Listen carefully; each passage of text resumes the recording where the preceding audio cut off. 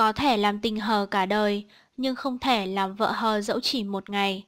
Phần 1 Trong mắt mọi người, Tú là một gã đàn ông chơi bời, thiếu trung thủy, lăng nhăng. Đâu có ai biết. Cái gã đàn ông từng làm bao cô gái đau khổ ấy, mỗi ngày lại đau vì bị phụ tình. Tú nhớ như in cái ngày đầu tiên nhìn thấy Hoa, anh thở dài tới thượt một cái vì ngắn ngẩm. Con gái gì mà không biết diện dàng.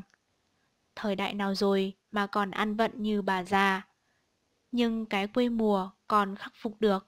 Khổ nhất là cái diện mạo của Hoa mới xấu làm sao. Tú chẳng muốn dùng từ cay nghiệt để tả về sắc đẹp của đàn bà. Nhưng quả thật, Tú nhìn Hoa, cái gì cũng không vừa mắt. Ấy vậy mà khốn khổ làm sao, cả nhà súng lại bảo Tú lấy Hoa làm vợ. Mới chỉ nghĩ đến thôi, Tú đã thấy nức cười. Một anh chàng điển trai như Tú mà lại phải nhờ tới họ hàng, người thân mai mối, cho cô vợ, có nhan sắc, nhìn vào cứ phải vội quay đi để đối phương đỡ chạnh lòng, trước sự kinh ngạc của mình.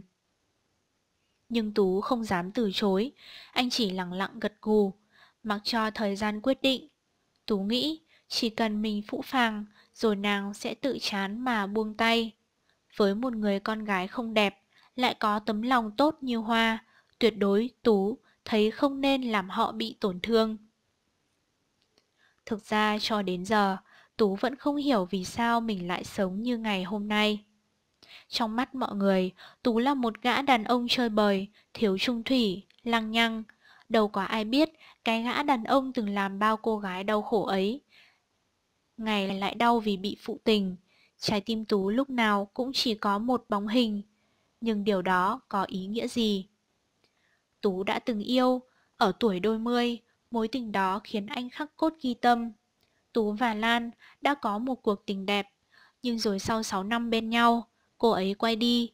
Lý do duy nhất khiến Lan chấm dứt tình yêu này là bởi Tú chỉ là chàng trai tỉnh lẻ, không giàu có, không đảm bảo được cho tương lai của cô như người đàn ông đại gia mà Lan được gia đình mai mối.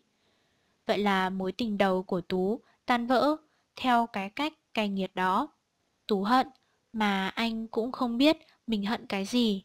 Hận Lan, hận đời mình không đủ giàu có hay hận bản thân mình, chỉ biết nỗi hận đó biến Tú thành gã đàn ông chơi đùa với tình yêu như hôm nay. Nhưng trời biết cũng phải có điểm dừng. Gia đình thúc giục Tú phải lấy vợ và người mà bố mẹ lựa chọn là Hoa, một cô gái gần nhà. Cô gái trong suốt những năm tháng qua, khi anh vắng nhà, cô chẳng nề hà mà chăm sóc bố mẹ giúp anh. Dẫu cho họ chẳng có một lời ước thề, dẫu cho Tú chưa từng một lần nói tiếng yêu Hoa. Phải nói Tú biết ơn Hoa, bố mẹ anh già yếu và nhờ có cô ấy mà hai cụ được chăm nom. Vui vẻ nhiều hơn. Không khó hiểu khi bố mẹ anh chỉ lựa Hoa làm con dâu mà không phải người nào khác, dẫu cho ngoại hình của cô ấy chẳng lấy gì làm vừa mắt.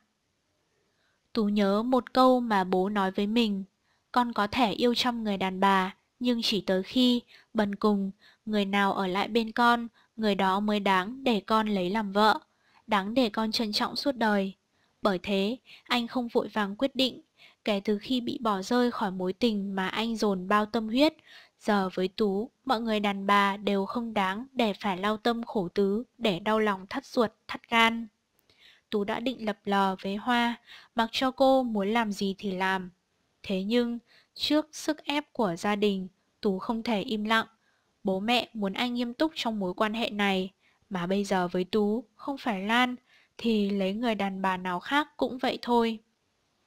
Hôm ấy, Tú điện thoại cho Hoa đi uống nước. Ngồi trong quán cà phê, Tú cứ ngại ngại khi đi cùng người con gái xấu như Hoa. Em làm bạn gái anh được không? Em biết đấy, bố mẹ anh thích em. Anh không muốn làm trái lời bố mẹ. Nhưng anh là gã đàn ông thế nào em chắc không lạ. Nếu em chịu được thì yêu, không thì em cứ từ chối để anh bảo bố mẹ anh. Em đồng ý. Hoa trả lời nhanh tới mức không kịp suy nghĩ. Tú thấy buồn cười. Đàn bà con gái gì chẳng giữ ý giữ tứ. Ai đời vừa mới được tỏ tình đã vội, vồ lấy như bắt được vàng. Anh gật gù đứng dậy. Tốt, vậy chúng mình là người yêu, đợi bao giờ bố mẹ anh xem ngày tốt, thì cưới. Thôi em về đi, anh đi có việc. Tú rời khỏi quán như thể mình là một gã đàn ông tự do, như thể anh chẳng quen gì Hoa, cô gái mà anh vừa ngỏ lời, đề nghị làm bạn gái. Tú và Hoa trở thành tình nhân như thế, chuyện của họ bắt đầu thật không giống với bất cứ ai. Những ngày tháng sau đó, nếu không nói ra, không một ai biết họ là người yêu của nhau. Đơn giản là vì tối ngày Tú lượn lò với các em trẻ đẹp khác. Người ta không bao giờ bắt gặp hình ảnh Tú đi với Hoa. Điều kỳ lạ là ở chỗ Hoa không ghen. Tú muốn làm gì, gặp ai, dẫu công khai hay giấu giếm. Hoa cũng không hỏi, không tra khảo.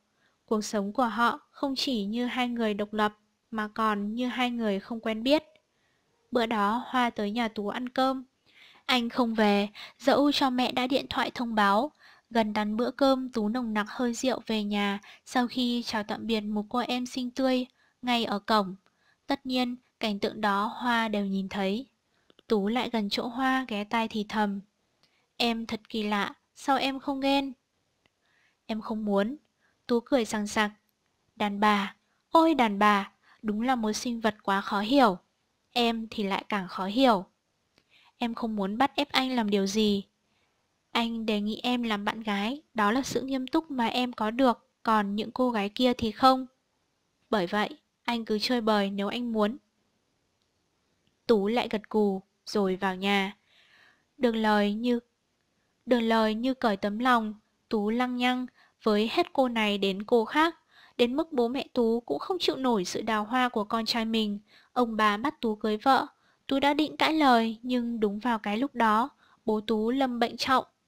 Anh phải lấy vợ để bố yên tâm mà ra đi. Cả cơ nghiệp nhà Tú ra đi theo căn bệnh mà bố Tú mắc phải. Vậy mà cuối cùng anh cũng không thể cứu được bố. Những ngày tháng đó, Tú như thành một con người khác, chứng kiến nỗi đau mất cha, chứng kiến cảnh nhà cửa mất dần, anh mới thấm thía. Từ một người đàn ông chơi bời, Tú thấy mình lớn và trưởng thành hơn. Tất nhiên những tháng ngày cơ cực đó, Tú luôn có Hoa ở bên. Cô không quản ngại bất cứ điều gì trước khi bố Tú qua đời. Ông chỉ mong Tú lấy vợ. Không muốn bố buồn lòng, lại cảm động vì tấm chân tình của Hoa bao năm qua. Tú gật đầu đồng ý. Đám cưới của Hoa và Tú diễn ra theo cách đó. Cũng không hẳn là miễn cưỡng, nhưng cũng chẳng lấy gì là cuồng nhiệt. Ngày cưới của họ không có gì, vì giờ Tú gần như trẻ trắng tay.